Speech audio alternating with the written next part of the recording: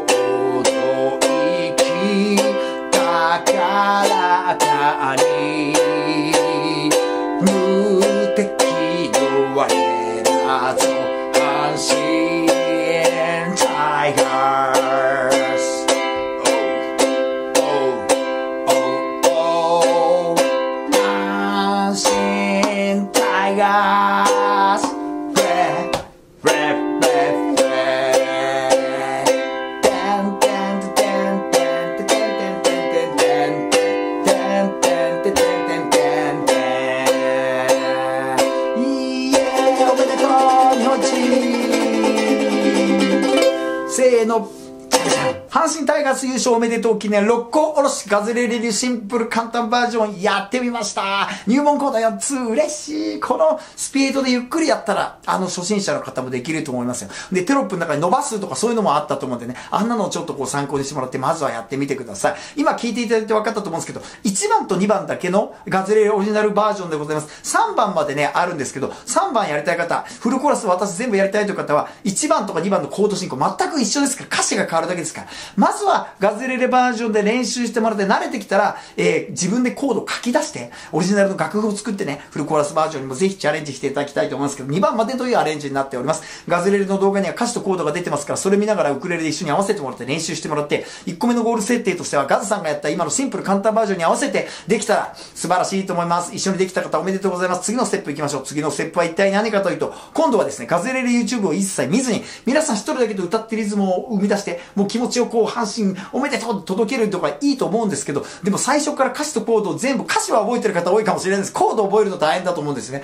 でもやっぱりだから、楽譜みたいなものを見て、何回も何回も練習して、いずれはですね、覚えちゃって、球場とかで、阪神ファンの中でこう歌うのがいいと思うんですよね。まあでも、えっ、ー、と、楽譜ってどこにあるのというふうに聞こえが聞こえてきそうですけど、安心してください。今の演奏はですね、ガズが手書きで書いたね、このノート、この手書きノート楽譜を見ながら今演奏していったんですね。で、もうちょっとしたらこんな風にカメラに大きく映して、みんなもこんな風に書いてみたらいいじゃんってシェアしようと思うんですけども、えー、今、この便利なサービスが始まってるんですよ。ガズクラブ。このガズクラブっていうのは一体何かというと、毎月660円のクラブ活動費を頂戴しまして、今日取り上げた六甲おろしを含むガズが今まで手書きで書きまくってきた、もう世界中にあるもう名曲中の名曲、もうすごいいっぱい何千曲もありますからね、そのうち毎月、その中から毎月5曲、えー、あの曲がいいな、この曲やってみたいみたいな感じでお選びいただいて、即座にお手元にデジタルデータとしてガズの手書きの楽譜がダウンロードして、すぐに、えー、活用できますよという画期的なサービスなんですよ。はい。で、このね、ガズクラブは楽譜のダウンロード毎月5曲以外にもいろんなことがあるんです。えー、毎月2回行われている全世界のガズレレ、ガズクラブメンバーの方だけが参加できる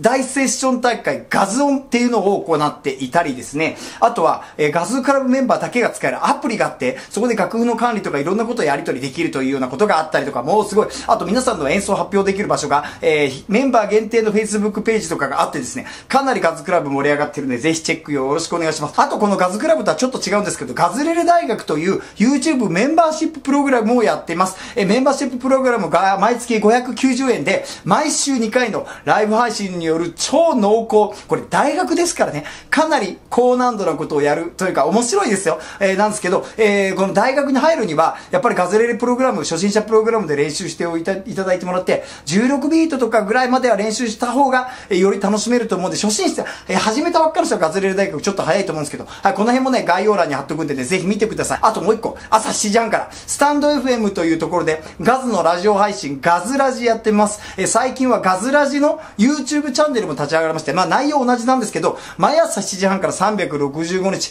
めちゃくちゃ役立つ、いい話してますんで、ぜひチェックよろしくお願いします。今言ったこと3点、概要欄に貼ってきますんで、えー、見てみてください。それでは楽譜を見ていきましょう。六個おろし、阪神タイガース優勝おめでとう、コード4つだよということでやっております。さあさあ、これ見てもらうとわかると思うんですけど、ここ、コードがちょっと似通ったコードがあるんで見づらいと思うんですけど、これがワンブロックですからね、こういう風にね。はい。えー、でも、コードは簡単です。あと、ここは簡単バージョンでは伸ばしたよと、こういうメッセージはね、かっこいいバージョン。大体下のこと書いてあるのはね、あの、かっこいいバージョンだと思っといてくださいって思うんだけど、今日は結構シンプルで、えっ、ー、と、あとこういうところから、ダーダー。これもでも、シンプル簡単バージョンでも同じですね。はい。えー、今日はだからそ、コードとか、このこう曲の構成としてはすごくシンプルです。えー、こんな感じで、えー、映しておくので、ちょっとイントロのね、わ、あの、ブロック、ここだけちっちゃいから、ここだけ要注意。こことこの間奏のところ、ここがちっちゃいブロックになってますんで、ちょっとあの気をつけてね。あとは普通にこの大きいワンブロックになってます。はい。えー、お時間の方はこうやって映しておくので、一時停止でノートとかに、えー、書き足して練習していってください。えー、で、今紹介させてもらったガズクラブでこのガズが書いた手書き、えー、ノート、楽譜。ここれめちゃくちゃ有効ですよ。この歌詞の上のこの点見てください。これ。これがめちゃくちゃ役立ちます。ちょっと歌ってみましょう。はい、せーの。六甲おろしにさそうと。はい。この点でリズムが分かるようになってますね。ええ。これがかなりね、役立つと思います。あとはこの伸ばすところ、この歌詞カードにはこの伸ばすタイミングとかちょっと分かりづらくて、あの、ワンブロックに対してこの位置関係もすごくね、参考になると思うんですよね。まあ、歌はね、この歌みんな、あの、歌って、てらっしゃる方は知ってると思うんですけど、コードとのね、関係性がまた面白いんでね、はい、ぜひこれやってみてください。えー、ガズクラブでこのデジタルデータのダウンロードしていただくのもすごく有効だと思います。お時間ある方は、こうやって移しておくので、一時停止で書いてください。まず1番の A、B。い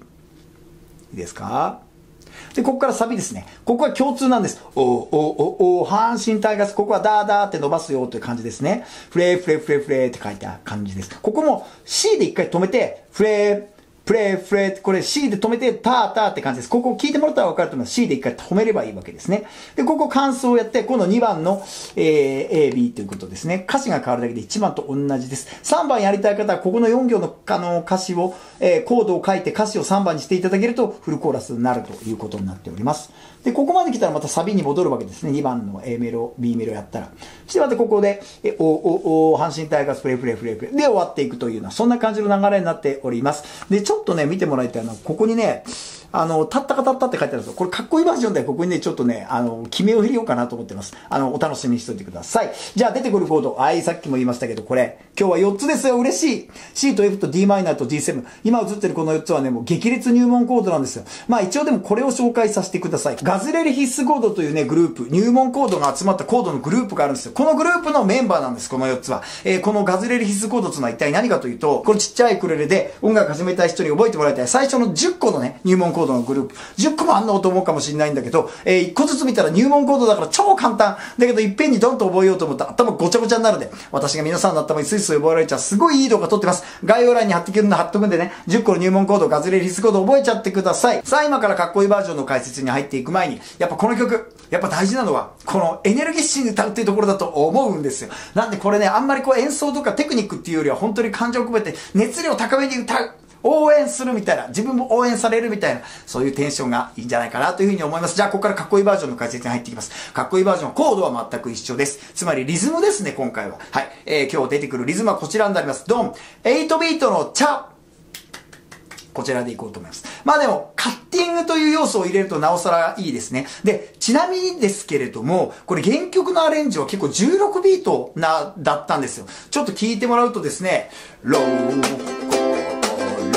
しさあそうこんな感じの雰囲気もある、あるんですね。あと特に、えっ、ー、と、青春の覇気とか、青春の覇気、うばしこんな感じの結構ファンキービートだったんですけど、この中で僕がね、この、この曲をみんなで歌うとか、ウクレレで歌う時のこの場面を想像すると、本当何人かで、ローこの8ビートで、このなんか、なんつう、より歌に注力する感じの方がね、これ絶対いいなと思って、えー、もしね、16ビートの原曲っぽいノリでやりたい方は、16ビートで全然かっこよくできますね。まあやってみてください。今回はより多くの人にね、この8ビートのノリで楽しんでいただく方がね、きっとこれいいなと思って、今回はガズレレかっこいいバージョン、8ビートのアレンジにさせていただきましたけれども、ちょこちょこ16ビートの要素も登場しますけれどもね。まあでも基本的には8ビートのじゃん、これでいこうと思います。はい。まあ、カッティングはちょっとだけ、あの、後で解説しますけど、ょっとだけ、えー、入ってくるとかっこいいというような、まあ、あの、おま、おまけと言いますかね。まあ、そんな感じになってます。今映ってるこのリズムの弾き方、概要欄に貼ってあるウクレレでできるリズムのいろいろというところに、濃厚解説レッスン動画がアップロードされてますんで、ぜひ見てください。8ビートのチャはね、すごいシンプルなんですよ。C を押さえていくと、ダン、チャッタ、タン、チャッカッタ。こういうリズムがある。これがかっこいいんです、このドライブ感。これでもうね、もうなんか、なんつうの、ぐいぐい力強く進んでいく。そんなね、表現ができると思います。はい。えー、じゃあどんどん解説していきましょうと。えー、基本的にはね、シンプルなんですけど、イントロからいくと、えー、てんてんてんてんてんてんてんてんてんここ、ダン、ダカダン、はい、ダン、ダカダン。ここちょっと16ビートの伸ばしでしょ。ダン、ダカ、ダン、できれば、ここ、ダカダンってやるとかっこいいですよ。ダカダン、ダン、ダカダン。はい。これはね、あのー、もし余裕あったら、ジャカジャン、ジャカジャンやってみて。これ今日ね、このジャカジャンみたいなのね、曲の中で登場するパターンが多いんでね、ここは、まあ言うてみれば手首すごく柔らかく使って、16ビートのね、ノリなんですよ。ダカダーンつうのはね。はい。これはちょっと余裕出てきたらやって。ちょっと難しかったら、ダーン、ダカダーン。これでいいですよ。ダーン、ダカダーン。シンプル簡単バージョンと同じように伸ばすと。で、その後、ダン、ダン、ダン、ダン、ダン、ダン、これがちょっとね、あの、やりたかったんですよ。つやつ。これカッティングっていう風に言ってますカッティング。どこでもいいんでネックで弦をね、触れて押さえといて、タカタッタ一瞬ですけど、タカタッタこれがなんかね、小気味いい感じで入ってんですよね。もう一回最後の、サビの最後のとこやると、でんんんんんんん。かっこいいでしょ？でんんんんんんん。タカッはい。これは手の振りとしては16ビートになります。本当に一瞬芸、一瞬芸だけど、どこでもいい。弦を触れるだけですよ。はい。で、ここから、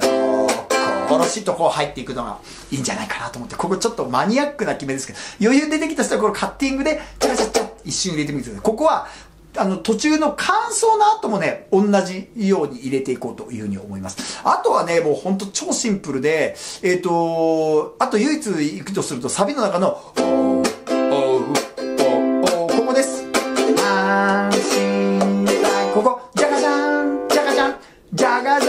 かっこいいですよね。じゃがじゃん。ここのただ伸ばす、阪神タイガー、シンプル簡単バージョンでこうやってやってたんですけど、ここはかっこいいバージョンだ。じゃがじゃん、じゃがじゃん、じゃがじゃん。ちょっとこれ取り入れてみると、ちょっとね、ゴージャスになります。フレー、フレー、フレー、フレー。はい、ここのフレーのシンとかパッと止まって、G7 のところのフレー、フレーは、余裕ある人は、カッティングでで G7 止めてもいいですね。まあ止めなくてもいいですけどね、まああんまりこの曲はね、もうそんなことよりももうパワー全開でこのね、あのエネルギー込めて歌うっていうところにフォーカスした方がまあ今すごくいいと思いますね。まあでも、あの、フェー、フェー、フェー、フェーこういうのね、ちょっとカッティング入れてバッバッバーンっていくのもかっこいいかなと思いますけど。はい。そんな感じです。あとは繰り返しでございます。なんでも今日の解説、これにて終了。えー、こういう時にはですね、と、とにかく、あのー、コードも4つだしですね、これをまずなんていうかもう何回も練習しても自分のものにして、なんかその、阪神が好きな仲間たちとこう一緒にウクレレで歌う。最高じゃないですか。で、これ簡単ですから、あのー、みんなにですね、ウクレレこうやってここを押さえて C で、これが F でって、もうその場でこうレッスンを開始して、その、なんていうんだな、おお友達にこのウクレレ仲間をもう増やしてですね、そしてなんか応援するとか、なんかすごく面白そうだなという情景が浮かぶんですけど、いかがでしょうかね、皆さん。なんかぜひそんなのもね、あのー、ウクレレで阪神タイガース応援歌、六甲おろしを歌うなんてもう素敵だなと思うんですけど、ぜひ皆さんやってみてください。あとはもう私が説明するまでもないと思うんですけど、この曲のね、持つエネルギーというかパワーというか、もうそれはですね、もう皆さんもうガーッと言ってください。8ビートだとそれが込められるかと思って、そんなね、えー、思いとともにこう簡単アレンジしております。楽しみですよ、これは。はい。えー、ぜひ皆さん、ゆっくりね、まず焦らずに、あの、コード、コードの順番とか、この構成をちょっと理解していただく。これがいいと思いますね。えー、ぜひトライしてみてください。じゃあ早速、かっこいいバージョンのデバイスをやっていきますよ。ロックおろしガズレレルかっこいいバージョン、やってみる !1、2、3、4! ダンダンダンダンダンダンダンダン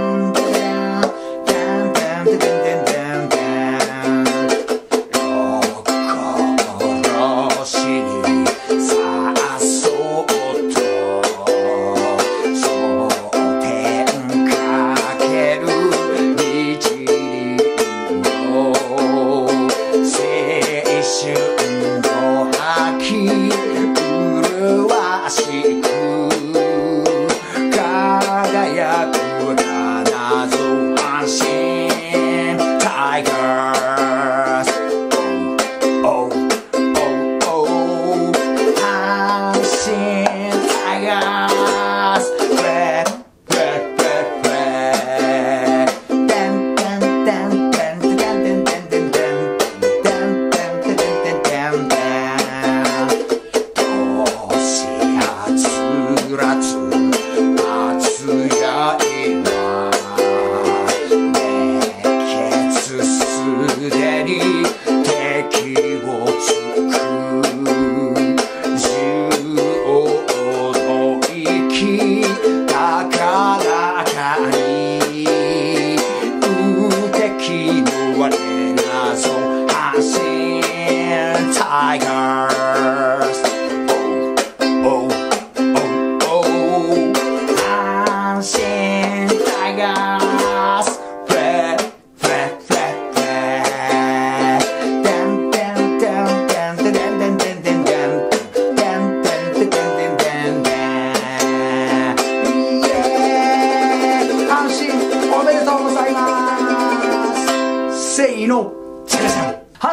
優勝おめでとう記念六甲おろしガズレレ流かっこいいバージョンは8ビートバージョンでノリノリパワフルバージョンやってみたい。いですねこれは皆さん。こうなんかテンションが上がる曲これをやっぱりあの自分で生み出すっつうのはですねもうこれまたもう最高になあのことになると思いますよまああの初心者の方でもねこれはコードも簡単だし取り組めると思いますぜひこの曲マスターして盛り上がっていってください。よろしくお願いします。さあお知らせです。11月11日ガズレレの日というふうにもうイベント渋谷で、えー、イベント開催するということでご案内させていただいててソールドアウトです。チケットありがとうございます。いよいよ今週末に迫ってきてめちゃくちゃ楽しみです。えーチケットねゲットできなかったよ。行きたかったなという方とかウクレレガズレレの G ラボちょっと弾いてみたいわ。私という方安心してください。その11月11日のこの時間朝10時半から午前10時10時半から11時半の1時間だけは無料でどなたでも参加できる G ラボポップアップショップの時間がちゃんと用意されております。チケット取れなかったけどウクレレガズレレウクレレ G ラボウクレレ弾いてみたい触ってみたい東京でねポップアップショップお試しできるのでかなり久しぶりなんでですねぜひそこにもえお越しいただければなというふうに思います。チケット持ってる方はめちゃくちゃ楽しんでいきましょう。最高の時間を一緒に作り上げていきましょう。楽しみにしてます。あとガズレレのアプリガズレシピに新しい40曲のブロックが追加になっております。このねあの新しいブロックめちゃくちゃいい曲が満載なんですけどちょっとアプリのことについてもちょっとこの後解説していきます。ガズレレではね、アプリを出してるんですよ。ガズレシピというアプリです。このアプリなんですけど、アプリのインストールは無料になってます。中で楽譜がもう何百曲、何百曲もある、清書されてる楽譜でですね、こっちは。あの、かっこいいバージョンの表記もあるんで、これかなり役立ちますからね。えー、で、このアプリ内は、えっ、ー、とね、いろいろスクロールができたり、自分がダウンロードした楽譜の管理ができたりとか、すごくいいものになってるんですけど、このね、楽譜がですね、書籍版になってます。はい、こちらです。はい、このガズレシピ書籍版も大好評です。Amazon とか、あと島村楽器さんでもこれゲットできますんでね、チェックの方よろしくお願いします。そしてですね、ガズレレではね、ウクレレ以外にも簡単音楽レッスンやってます。ガズピアノ、これ鍵盤楽器ですからね、これね、ほんと、ガズレレ楽しんでいる方だったら、あっという間に鍵盤楽器でも弾き語りができますよというね、えー、ガズが開発したプログラム、ガズこれ本も出てますから、ガズピアノのハニーさんと一緒の表紙なんですけど、ハニーさんも先生役で、はい、ガズピアノという YouTube チャンネルでレッスン動画公開中。あと毎週日曜日はね、このガズレレ YouTube でもギター教室、ガズギターもやってますんでね、ギターやってみたい人ももりもりやってみてください。はい、そしてガズレレではいろんなグッズありますよ。まあ G ラボのウクレレとかもそういうのももちろんあるんですけど、それとは別に、キャップだとか、今これ着ている T シャツとか、このストラップだとか、ここに売って水引きだとか、こういうのがでも小物もいっぱいあります。え、このバナー、え、ガズレレ公式ホームページのこのバナーのところに行くと、いろいろ見られるようになってますので、ぜひ皆さん、い見るだけ見てください。楽しいグッズいろいろ、ポップに行きましょう、ポップに。はい。そんな感じでね、ガズレレではもうあっちからこっちからもういろんなことやって、もう音楽聴くからやるに変えて、人生をもう豊かに楽しくしていこうということで活動しています。皆さんどんどん音楽して、音楽仲間もね、どんどん増やしていくとですね、笑顔がその分増えるんでですね、最高だと思います。はい。えー、そんな感じで今回のガズレレレッスン終わります。またお会いしましょう。楽しく音楽していこう。バイバイ